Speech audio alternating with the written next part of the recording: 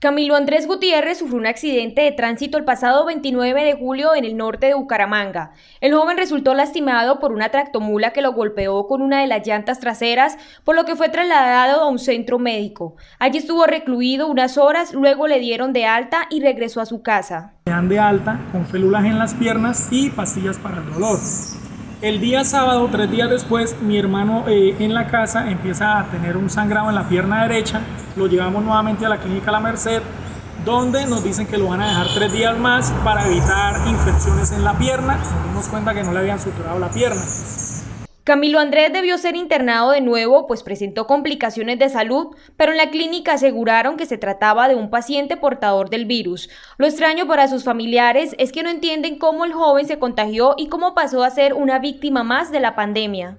Me llaman para decirme que mi hermano sufrió dos preinfartos. Yo me dirijo a la clínica, eh, la enfermera pues empieza a decirme que ella no se adelanta a dictámenes, pero que mi hermano lo más probable es que muera en las próximas horas.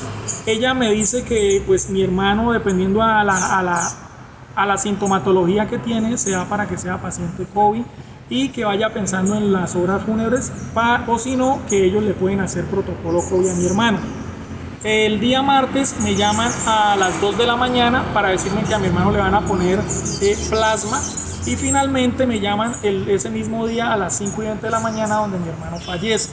Aunque Medicina Legal dio el dictamen de que Camilo falleció por muerte violenta, sus allegados señalaron que en la clínica siempre hicieron presión sobre la familia, insistiendo en que el joven era portador del COVID-19. Ante esta situación, hicieron un llamado a las clínicas y hospitales para que actúen con mayor prudencia frente a estos casos. Queremos que esto no se repita, que ninguna familia sufra lo que está sufriendo mi familia, porque en las clínicas lo que dicen es que todo paciente es COVID hasta que no se demuestre lo contrario.